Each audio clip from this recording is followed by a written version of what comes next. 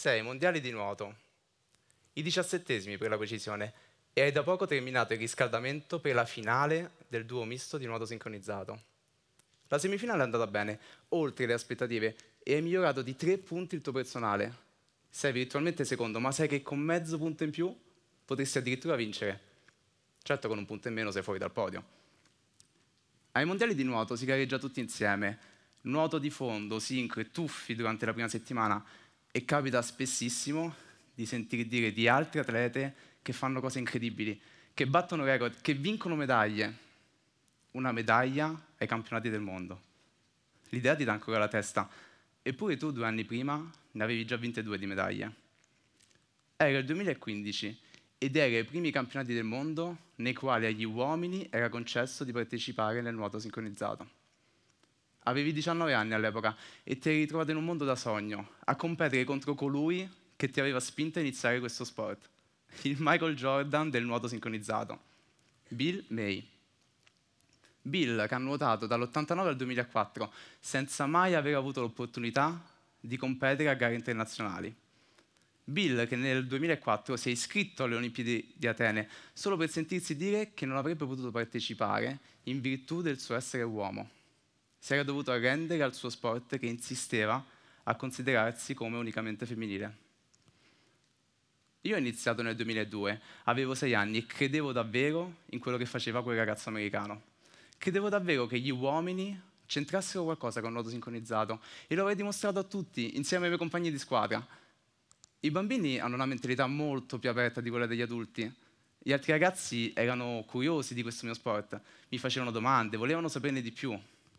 Gli allenatori delle altre società mi supportavano in questa mia stranezza, però le cose cambiarono rapidamente. Crescendo, gli altri ragazzi iniziarono a indicarmi, a ridere di me, a chiamarmi sincrofrocio. Gli altri allenatori iniziarono a storcere il naso vedendomi nuotare, a fare commenti sul fatto che un uomo non c'entrasse davvero nulla con il nuoto sincronizzato, che quello non era il mio posto. Io non lo volevo dare a vedere, però faceva male Faceva male soprattutto non capire perché mi stessero dando contro. Faceva male essere rimasto l'unico di quei sette ragazzi che nuotavano nella mia società e non avere più quegli appigli a cui aggrapparmi. Faceva male quando la mia allenatrice chiedeva a un giudice come mai una, una valutazione tanto bassa in un dato elemento e sentire la risposta, cioè che in quanto uomo ero più forte e quindi era tutto più facile e quindi non meritavo di essere valutato come le altre atlete. Eppure io non mi sentivo più forte. Non mi sentivo più forte, non mi sembrava più facile. E quella certezza che avevo dentro di me, cioè che un uomo c'entrasse qualcosa nel mondo del nuoto sincronizzato, la sentivo spengersi giorno dopo giorno. Avevo 15 anni quando decisi che non me ne sarei andato così, che quantomeno ci avrei provato. Cambiare società, ritrovare delle compagne di squadra ambiziose come l'ero stato io da bambino è stata la sliding door che mi ha cambiato la vita ho ricominciato a migliorare, ho ricominciato ad avere fiducia in me stesso e nelle persone e nel fatto che prima o poi il mio sport sarebbe diventato davvero inclusivo. A 18 anni, insieme a quelle compagne, arrivò la mia prima e unica medaglia ai campionati giovanili, una medaglia di bronzo alle ultime gare della mia vita. Le ultime, perché a 18 anni devi iniziare a pensare al futuro, a cosa studierai, a quale lavoro vuoi ambire. E quel progetto, beh, ce l'avevo messa tutta, ma non era bastato sarei dovuto entrare in nazionale molto tempo prima, ambire un posto in fiamme oro per potermi allenare le otto ore al giorno necessarie a provare ad essere tra i migliori. Ci avevo messo il massimo dell'impegno, ma non era bastato e finiva tutto lì, con una medaglia di bronzo bellissima, ma dal sapore un po' amaro.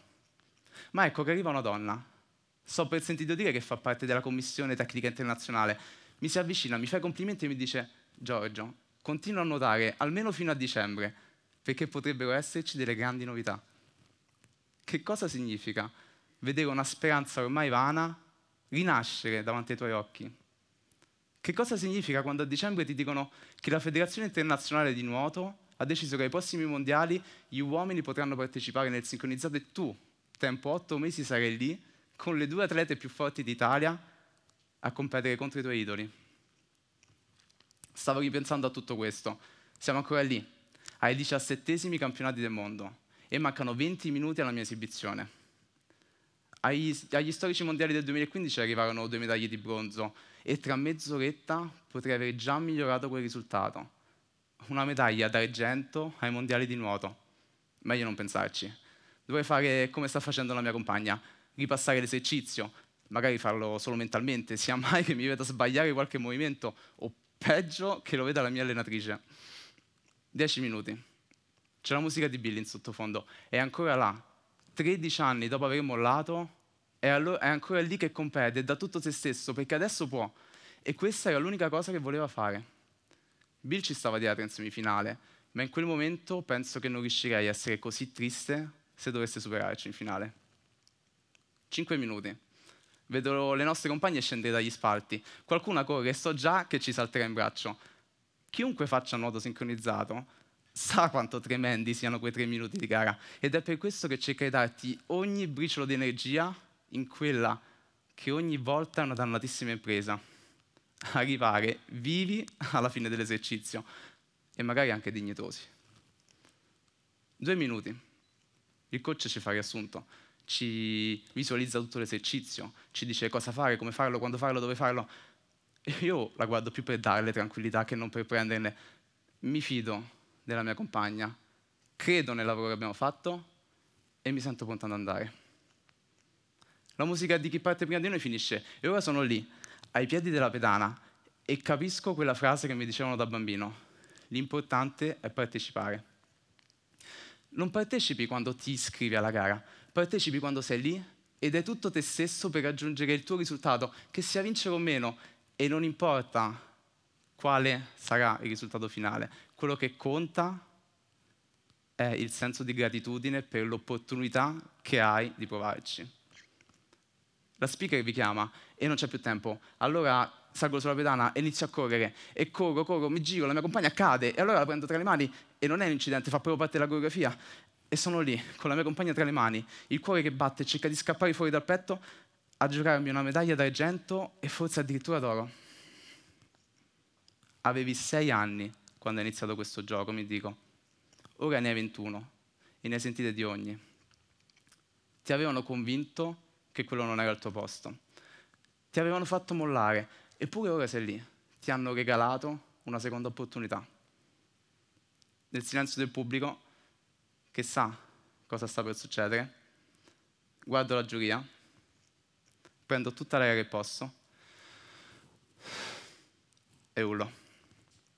La coreografia costruita dalla grande atleta che ormai lavora da alcuni anni in Italia come allenatrice Anastasia Armakova, la musica di Michele Braga ed è quanto mai attuale il tema perché si intitola Escrima, un urlo da Lampedusa. Ecco l'urlo di Giorgio Menisini.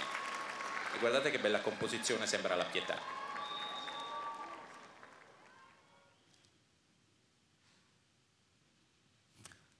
Grazie.